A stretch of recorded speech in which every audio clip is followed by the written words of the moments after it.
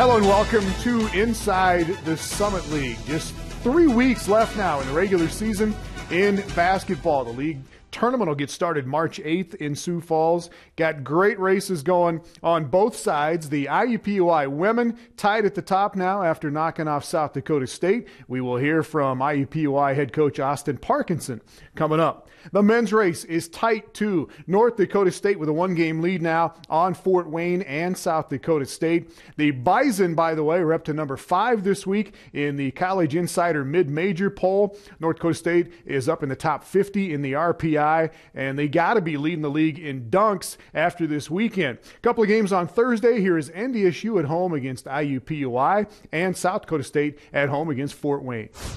South Dakota State is on a pretty good roll right now, looking to make it three wins in a row, wearing the camo uniforms on Military Appreciation Night. Louis Jacobo had eight points in the first eight minutes of this game for Fort Wayne, but he only ended up with 10 in the ball game. And SDSU just took off midway through the first half. Chad White made five threes. SDSU was 10 of 19 as a team, and the Jacks up by nine in the first half. Look at this pass. The Jay Biddle to Cody Larson, and SDSU up by 13 at halftime. Big Steve Forbes did some damage early in the second half for Fort Wayne. Got a layup here, had a dunk after that. He had 10 points, but SDSU held the Dons to just 35% shooting.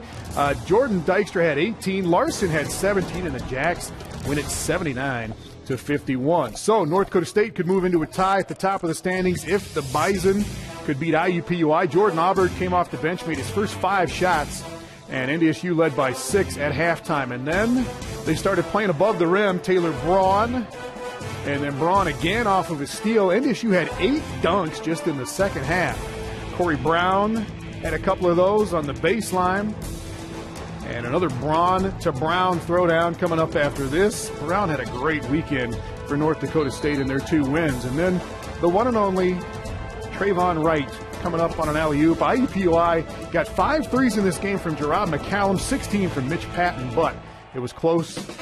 Bison win at 66 60, though. Saturday's games, when we come back, including Cam Griffin and Denver jamming on the Coyotes, and the league leaders going head to head in Fargo.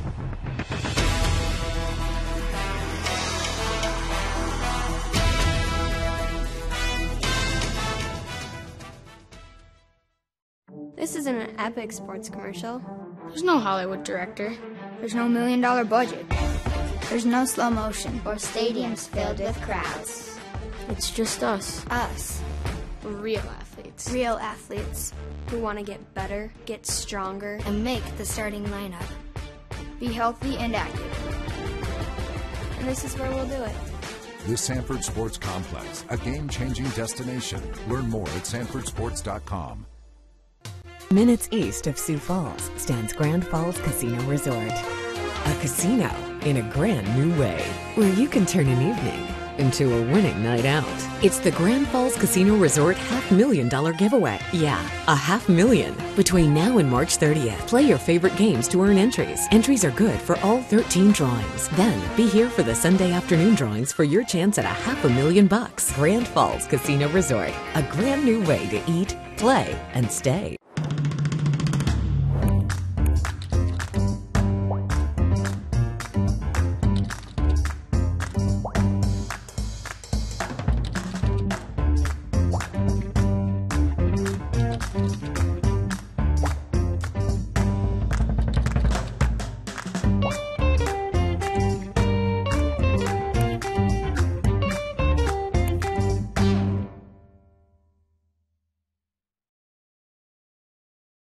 Inside the Summit League is brought to you by Sanford Health, Grand Falls Casino, and Dakota Land Honda.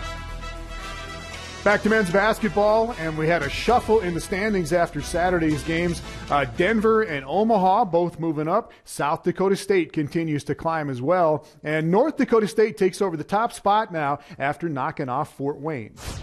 The Dons and the Bison both six and two in the league coming into this one. Fort Wayne had already beaten NDSU earlier this year in Fort Wayne, but the Bison led from start to finish. Trayvon Wright led North Dakota State with 15 points and six rebounds. Steve Forbes, his usual beastly self, he led Fort Wayne with 17, but Taylor Braun was doing this, and when he wasn't doing that, he was doing this. Fort Wayne played quite a bit of zone in this game.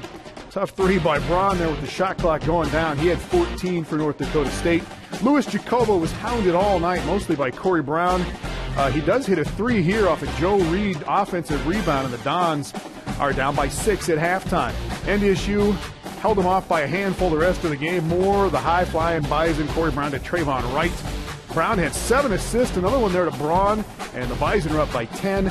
Fort Wayne kept coming back, though, had the NDSU lead down to four with five minutes left. Working all the way around here again to Forbes to get them close, but another Trayvon Wright highlight coming up here, and NDSU will win it by 11 over Fort Wayne to take over first place.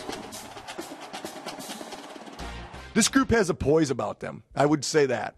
And, uh, you know, a lot of people want to say about how we haven't, after IUPUI, we win the game, and all I hear about is how poorly we played. Yeah, okay, great. That's fine. But we won.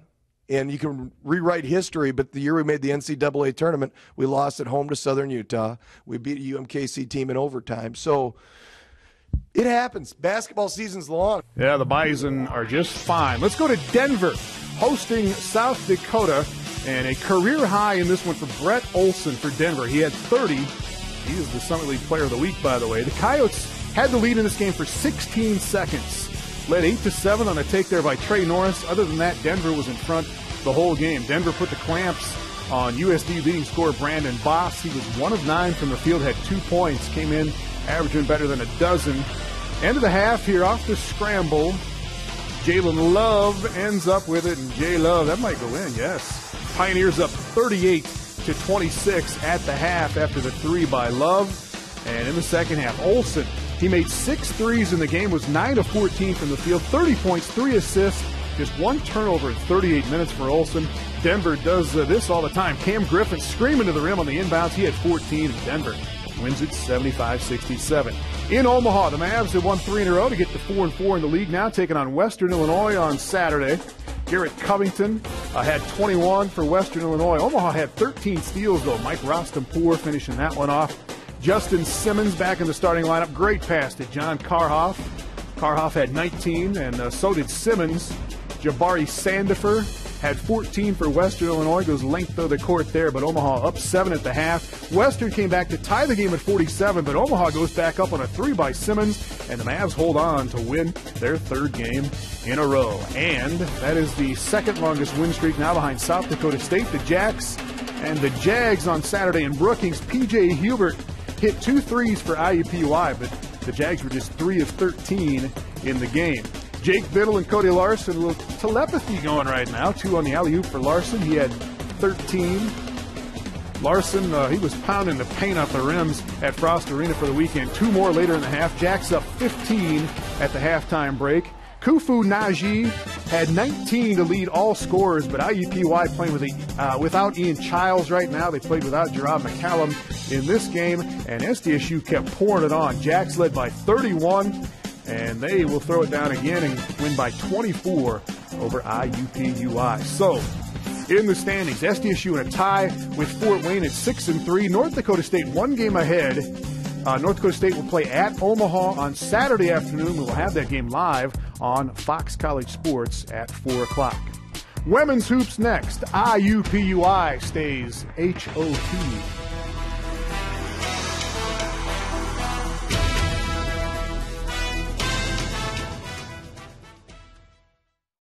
Since 1982, the Summit League has been achieving excellence Beyond providing a quality education to more than 120,000 students, the league continues to strengthen its reputation of being nationally competitive in athletics. Today, more than 3,000 elite student athletes at eight institutions embody the vision, purpose, and innovation the Summit League represents. These young men and women are reaching for the summit in both athletic and academic endeavors.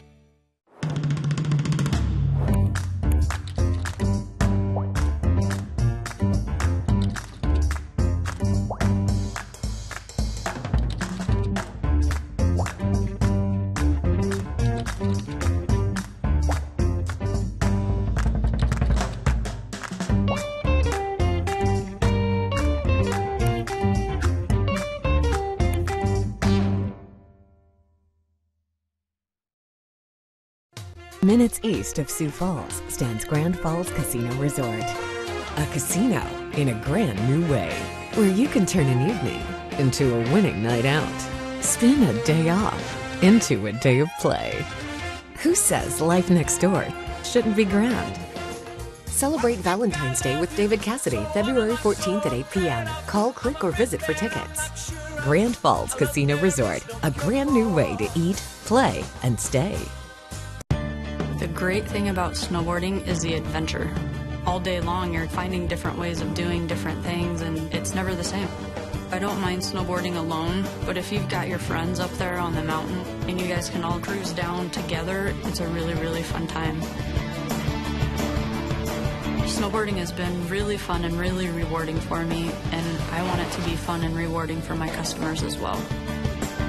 I'm Lindsay McKinstry, and I'm one of the snowboard experts at Scheels. Inside the Summit League is brought to you by Sanford Health, Grand Falls Casino, and Dakota Land Honda. Welcome back now to women's basketball and three good games on Thursday. At Western Illinois winning again at home, IUPUI picking up its seventh straight victory, and South Dakota State on the road at Fort Wayne. South Dakota State at 7 0 in the league, and the Jackrabbits jumped out early and rolled at the Gates Center in Fort Wayne. Kerry Young for two. The Jacks got 38 points just uh, one point shy of half of their points off the bench. Haley Seibert, good game again for Fort Wayne, made four threes, got to the hoop too. She had 23. SDSU, though, got nine points and nine rebounds from Mariah Claren. And the Jackrabbits led by 22 at halftime. Second half, Amanda Hyde on the nasty crossover here. She had 13 points and seven rebounds, but Hannah Strop had a career high 16 for South Dakota State. So did China Stevens, and SDSU downs Fort Wayne 77 66. In Indianapolis, IUPUI stays right with SDSU. The Jags face facing North Dakota State. Great night for Holly Johnson. Led the Bison with 20 points and five rebounds. NDSU led by 12 in the first five minutes, but the Jack, uh, the Jags that is, come back with Tierra Goss all the way in. She had 20. Kelsey Bird had five assists for IUPUI. Great pass to Shanika Maddox. And when Nevena Markovitz uh, hits this three, the Jags are up by four, and they led by seven at halftime. Second half, Brooke Lamar had five assists for the Bison. Gets it again to Holly Johnson.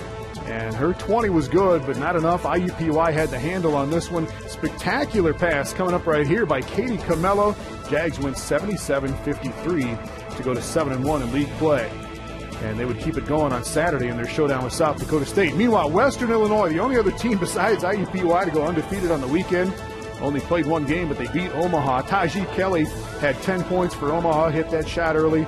Omaha led the entire first half. They had 14 steals. Get it out to Erica House for three. She had 15 coming off the bench for Omaha. But Tori Neiman had the hot hand for Western Illinois, made six of seven shots, 14 points, for Neiman. She will do it again here. Western shot at a very respectable 45% for the ball game.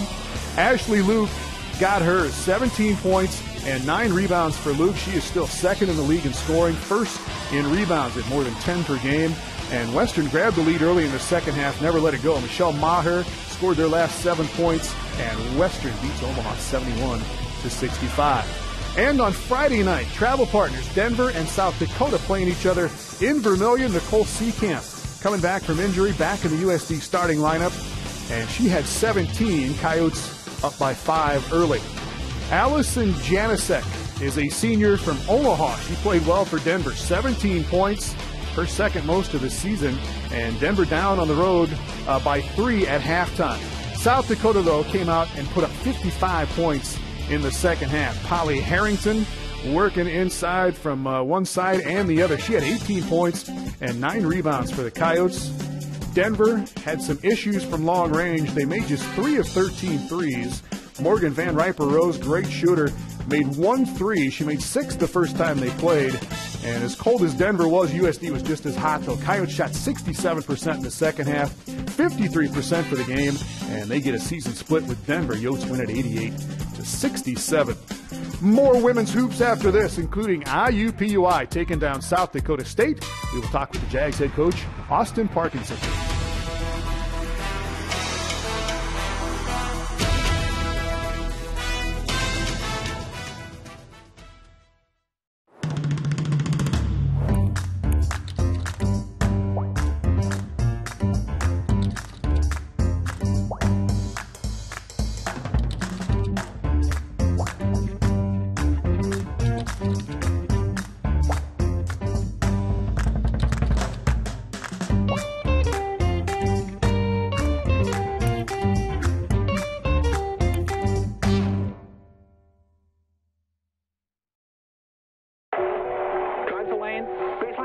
Williams. Williams shoots, gets up, he scores.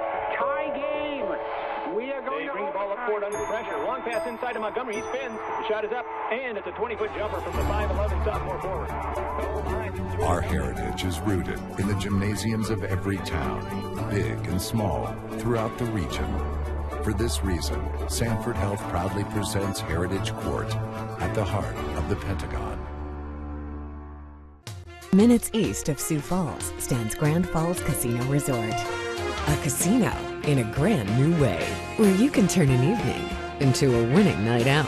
It's the Grand Falls Casino Resort half million dollar giveaway. Yeah, a half million. Between now and March 30th, play your favorite games to earn entries. Entries are good for all 13 drawings. Then be here for the Sunday afternoon drawings for your chance at a half a million bucks. Grand Falls Casino Resort, a grand new way to eat, play, and stay.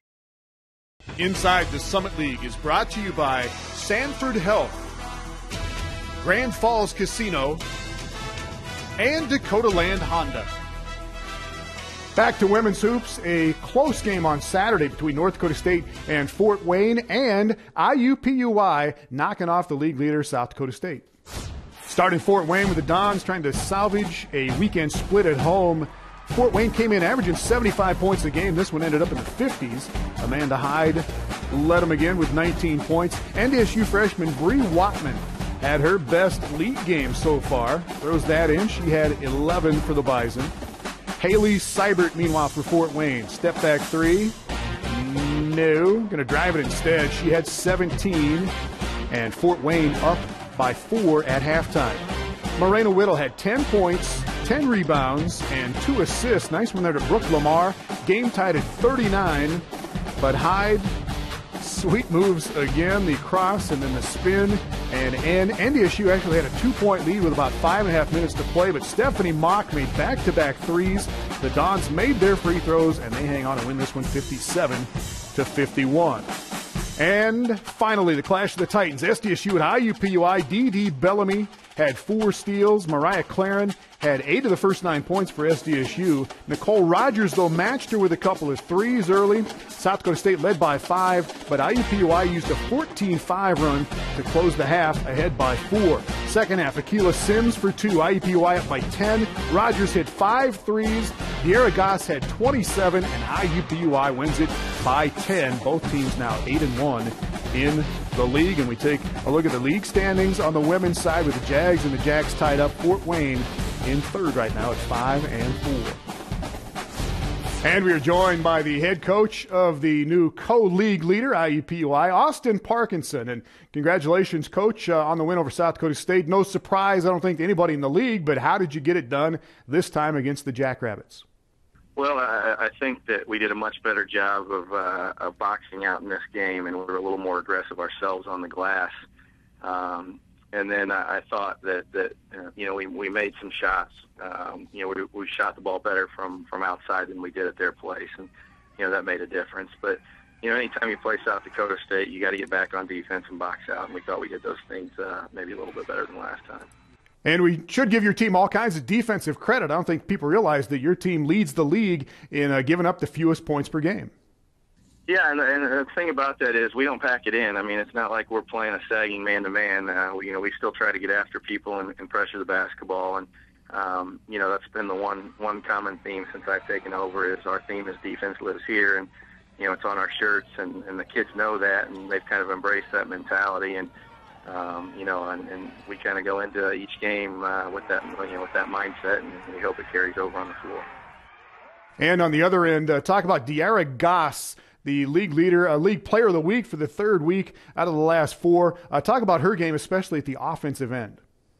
Well, I'll say this. I mean, in my opinion, and, and I, I, I would think most of coaches would think this too. I, I think she's the best player in the league because she plays both ends of the floor. Um, if you look at you know the big games this year, um, you know, uh, South Dakota, South Dakota State. Um, you know, she's uh, she's shown up in a big way uh, and scored uh, IPFW. She had over 20 plus, and so um, she does a, tremendous job offensively. She's hard to guard off the dribble. Got a great mid-range game. But the other part about it is um, she's usually guarding the best wing player every game, and uh, you know she she holds them below their average more times than you know often than not. And so um, you know, she she does a, a lot for for our program. And in addition to that, you your team can go about as deep as any team in the conference, can you? Yeah, uh, we, we we have our depth. We use our depth quite a bit, um, you know, and, and that was part of the uh, thought process of, um, you know, you got we got a lot of girls that, that can play, and, and we feel like that, that you know we, we don't need to play them 30 minutes a game. That if they can play you know 20 to 25 good minutes, um, you know that, that they can play harder and, and hopefully uh, in shorter spurts. And um, you know it's it's been effective so far, and uh, really engages kind of everybody on the on the roster because they know there's an opportunity for for them to get in the game and play. All right, and finally, give us a quick scouting report on your game at Denver this Thursday. Yeah, I'll be honest with you. I'm a little concerned. I think this is going to be an extremely difficult trip uh, for us. I, I said that coming up that this stretch of South Dakota State, uh, Denver, South Dakota, and IPFW is going to be tough because Denver, um, their record is is a little bit skewed because uh, they've played so many road games, but at home uh, they put up a ton of points, and so um, our defense is going to have to be locked in, um, and and and you know, and and they uh, they've got some talent, so uh, it's going to be a challenging game. And then obviously South Dakota, um, you know, I, I always have a ton of respect for what Amy does over there. And, um, you know, Seekamp's getting healthy, and they, they're starting to play, you know, some good basketball. So this is going to be a challenging weekend. All right, thank you, Coach. And we will take you to Indianapolis and the spotlight on IUPUI when we return.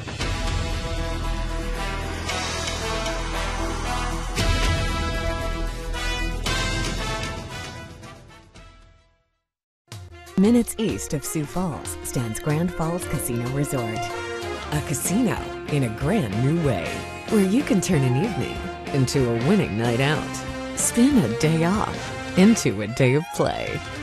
Who says life next door shouldn't be grand? Celebrate Valentine's Day with David Cassidy, February 14th at 8 p.m. Call, click, or visit for tickets. Grand Falls Casino Resort, a grand new way to eat, play, and stay.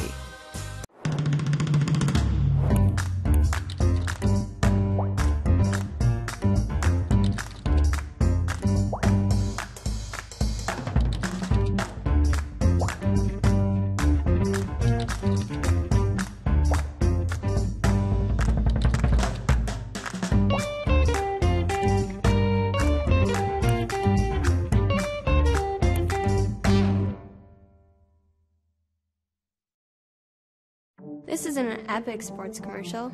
There's no Hollywood director. There's no million dollar budget. There's no slow motion. Or stadiums filled with crowds. It's just us. Us. Real athletes. Real athletes. Who want to get better, get stronger, and make the starting lineup. Be healthy and active. And this is where we'll do it. The Sanford Sports Complex, a game changing destination. Learn more at sanfordsports.com. Inside the Summit League is brought to you by Sanford Health, Grand Falls Casino, and Dakota Land Honda.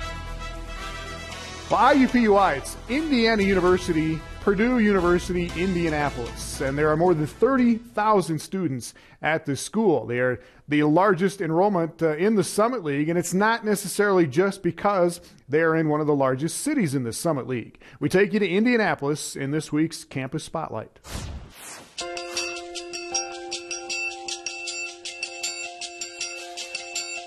Students here at IUPUI come here in part because of our international and national reputation for civic engagement and service learning.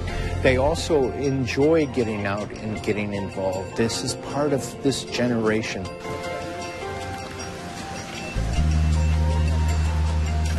The idea is that when students are engaged in practical learning experiences, it helps them to understand their course material in, in a deeper way. It's uh, meshing education with real life experience and with the community. You know, you have to basically give back, and either way, you know, both hands work together. You know, and that's basically it's coming together as a team. I am convinced that it's it's through experience, it's through interacting with others, it's seeing things for the first time, it's getting your hands dirty from one-time service experiences like on uh, Martin Luther King Day or our United Way Day of Caring, where groups of students will go out. They may work at the animal shelter providing care for animals just for the afternoon, or they may be doing tree plantings, that kind of thing. Then they would go to more intensive involvement through our service-based scholarship programs where students are engaged all year at a community organization in almost all of our schools on campus, we have service learning classes from the freshman up through graduate programs. We have a range of students, starting with medical students, but we have law students and uh, dental students who are providing um, clinical services in the Neighborhood Fellowship Church, which is located on the near east side of the city. Um, Pastor Jim has always been wonderful and has always helped us understand what an impact we're making um, and to help us understand that we're always partners with the community, that we're not coming in to provide services, but rather we're learning from them um, and together we're making an impact on the community. One of the most exciting and long-term programs has been when our athletes read with children at school IPS School 42 and what we find is that the student athletes come out of that experience of reading one on one with another kid and just being inspired to continue in their own education and inspired to make a difference. Students just love the projects. They really dig into it. Um, they really feel like they're making an impact on the community from what I've seen and it really drives them to do more. Our name, I remind people, is not a partnership of two, it's a partnership of three. Indianapolis is a partner with us from the very beginning of the campus, and you cannot train people in the professions we teach here uh, without being partner with your community. Our thanks to John and Ed and everybody at IUPUI. Thanks to the reporters at all of our member schools. A reminder, our live game this week nationally is a men's game. We've got North Dakota State at Omaha. NDSU at 7 and 2, Omaha at 4 and 4. Bison trying to hang on to that top spot in the standings. And you can see it live on Fox College Sports, 4 o'clock on Saturday. See you next week.